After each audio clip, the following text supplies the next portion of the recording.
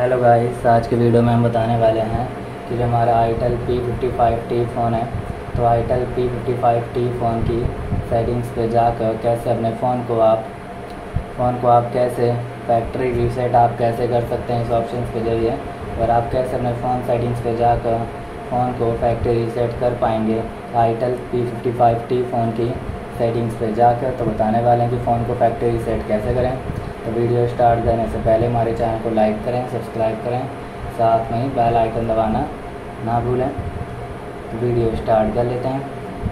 तो आप देखते हैं आइकन शो रहे हैं जिसमें से आपको सेटिंग्स पे जाना है। इसमें से आपके पास ऑप्शन आता है सिस्टम सेटिंग्स सिस्टम सेटिंग्स पे जाकर फ़ोन को फैक्ट्री रीसेट आप कर सकते हो, कर पाएँगे।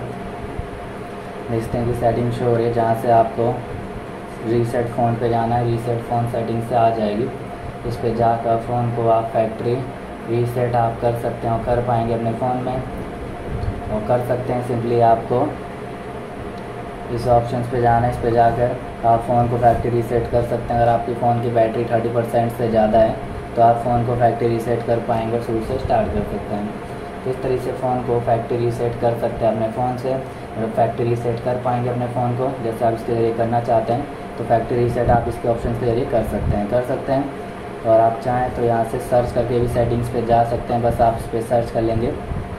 इरेज ऑल डाटा तो इरेज ऑल डाटा आप सर्च कर लेते हैं। तो सेटिंग्स आपकी सर्च करते यहाँ पर आ जाएगी, देख सकते हैं कि आ जाएगी। और आते ही आप इसके ज़रिए फ़ोन को इस ऑप्शन के ज़रिए फैक्ट्री रीसेट कर सकते हैं क्लिक करके सेटिंग्स को ओपन करके। तो आपको वीडियो अच्छी लगे तो लाइक करें सब्सक्राइब करें। साथ में ही बेल आइकन दबाना। ना भूलें। थैंक यू नेक्स्ट वीडियो के लिए इंतज़ार करें। वीडियोज़ को शेयर करें।